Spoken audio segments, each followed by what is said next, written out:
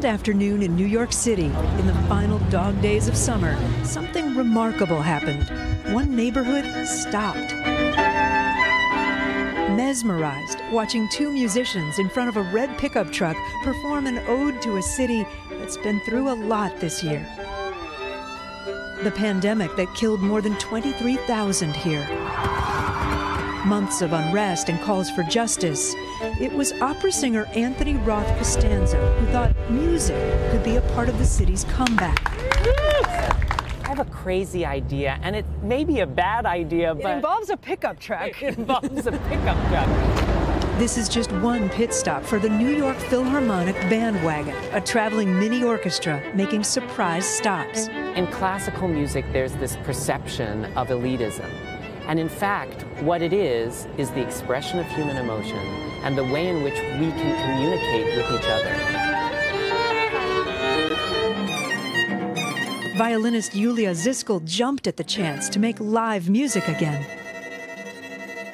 You normally perform here in Lincoln Center. Now you're out taking it to the streets. Does it feel different? It felt so special. And you could tell people miss live entertainment right now. They miss live performances.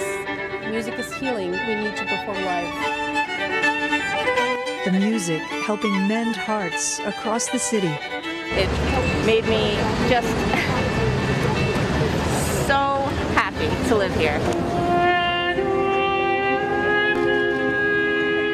I mean, you really can't get lost in the music. I think that's the power of what today was.